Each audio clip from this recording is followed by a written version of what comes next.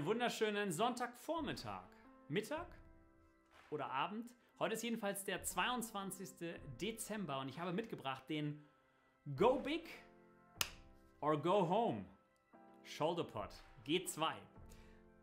Ich weiß, was ihr denkt. Der wirkt monströs und nicht nur auf den Bildern, sondern auch in real life.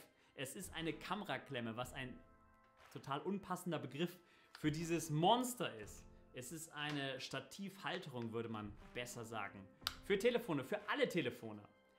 Die stellt man richtig fest und dann lässt sich das Ding hier wirklich nicht rausbringen, nicht bewegen. Und das ist genau der Anwendungsfall, den man haben möchte, wenn man Zubehör hier rundherum anbringen möchte. Lichter und Mikrofone oder es auf einen Stativ stellen mag.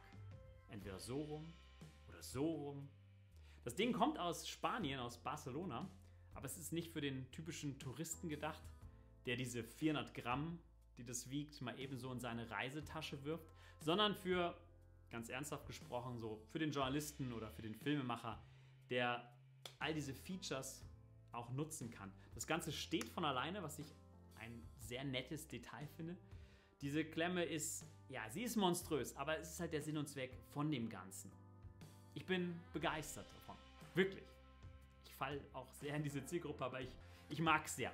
Das ist der Shoulderpod G2. Ich wünsche euch einen schönen Sonntag noch und wir sehen uns morgen schon wieder.